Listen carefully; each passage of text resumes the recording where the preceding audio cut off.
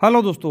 दोस्तों, इस वीडियो में हम मुत्तूत फाइनेंस को टेक्निकल एनालिसिस करने वाले हैं। तो हम आ चुके हैं हमारे एंजल वन के प्लेटफॉर्म के ऊपर। एंजल वन ने अपने ऑप्शन ट्रेड के लिए एक बहुत ही शानदार फीचर लेके आया जिसका नाम है इंस्टा ट्रेड तो पेज को ऊपर करा, इस टाइप का पेज आए जहाँ पर इंस्टा ट्रेड और दिख जाएगा, ठीक है, इस पर मैंने क्लिक किया।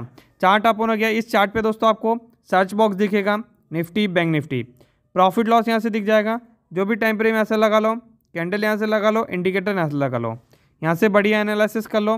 कॉल यहाँ से ले लो, पुट यहाँ से ले लो ऑप्शन चेन यहाँ से देख लो। ठीक है? अब देखिए, बढ़िया सर्च बॉक्स है ये। तो सर्च बॉक्स पे यहाँ पर हम क्या करते हैं? हमारा जो मुथूत फाइनेंस का स्टॉक है ना, उसको सर्च कर लेते हैं। ठीक है? तो यहाँ पर आप देख सकते हैं दोस्तों। तो यहाँ पर आप देख सकते हैं मुथूत फाइनेंस आ चुका है। ये दिख रहा है हमें फ्यूचर में। ठीक है? तो देखिए फ्यूचर का चार्ट ओपन हो चुका है। तो दोस्तों, आप फ्यूचर के चार्ट में इंडिकेटर लगा लेते हैं यहाँ से। ठीक है? यहाँ से किसी भी इंडिकेटर को सर्च कर सकते हैं। हमारा है बोलिंजर बैंड ठीक है?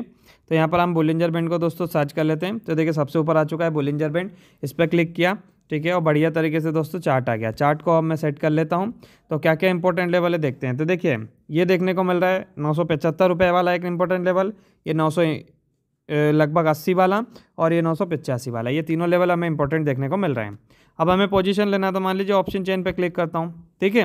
ये आपको ऊपर एक्सपायरी दिख जाएगी, ये पुट साइड ये कॉल साइड तो हमें एक हज़ार का कॉल लेना है जो पाँच रुपये साठ पैसे पर मिल रहा। चार्ट आ गया।